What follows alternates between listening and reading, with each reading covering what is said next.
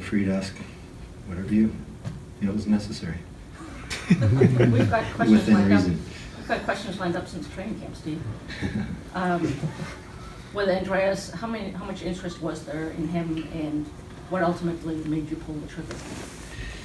Well, I guess, oh, um, we're trying to rebuild the team. We're trying to add draft picks and prospects. Got to decide, you know, everybody has a value. Some players have more valuable, some players are more marketable than others.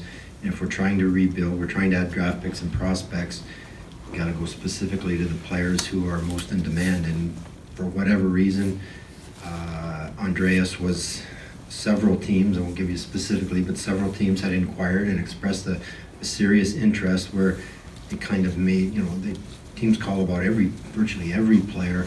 Um, this was where it seemed like this one could make sense for the Detroit Red Wings uh, in the short term and in the future. So, um, uh, again, I, I would say maybe he, he garnered the most interest, kind of made the most sense from our perspective and the return we were going to get, that he would be the player that we could pair with.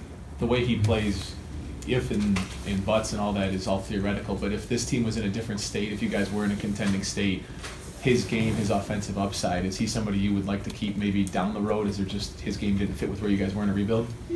Um, it's not so much his game. It's it's where we are today. Like we're rebuilding. If we were in this situation, if we were a, a playoff team or contending for a playoff spot, now in all likelihood we wouldn't be se- uh, sellers, so to speak. We, you know, we haven't made the playoffs for a few years. We're obviously not going to make the playoffs this year. So that's really dictated what we did here. And then ultimately, you have to decide, you know, who, who are we going to keep? And and if we're going to move guys, we're not going to move just for the sake of moving them. We need to, you know, weigh off what the what the return is for each player. And ultimately, obviously, the return was two second round picks, and we felt that was a, a good value here for what we're trying to do. Hey Steve, why don't you think it clicked for him this season here?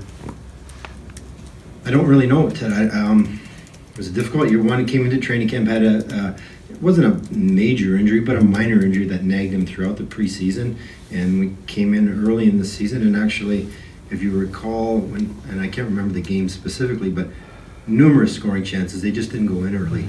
And like honestly, it hasn't, nothing has really clicked for us in, in any way. You know, it's just been a bad year, and uh, what could go wrong has gone wrong, and I don't think it's. I'm not singling out Andreas Athanasiou. Like uh, he, mostly he dealt with injuries and couldn't get into a rhythm, and then we dealt with other injuries and trying to figure out who's going where and who's going to play, and the season just flies by. You know, we, you know our schedule is you play so many games in short periods of time, and it's hard to get things turned around. You just don't, you know, you don't get that practice time. You don't get those breaks, and before you know it, you're 60 games into it, and you're at the trade deadline. Steve, were you determined to get the best deal that you could at the deadline, or did you consider also just waiting and seeing maybe if his trade value would pick up uh, these last 20 games and, Yeah. and revisiting it uh, at the draft? Yeah, I was I, not in a position that I had to do anything.